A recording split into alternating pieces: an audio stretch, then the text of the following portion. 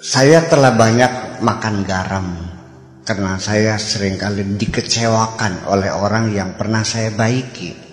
Tetapi ketika saya sudah tidak mengharapkan imbalan apa pun dari orang yang kubaiki, saya sudah tidak pernah kecewa lagi. Saya tidak akan menggiring orang untuk bersyukur kepada saya. Tapi saya ingin mengajak sebanyak-banyaknya manusia untuk bersyukur kepada Allah kok. Eh, lebih nyaman kok jadi saya ingin berbagi rasa dengan kalian semuanya. Barangkali Anda ingin merasakan nyamannya hidup ini. Saya kira pengalaman saya silakan bisa dimanfaatkan. Dan kapan saya bisa makan lahap, tidur lelap di mana saja, makan apa saja lahap. Sejak saya belajar untuk tidak menyimpan dendam dan kebencian kepada siapa pun.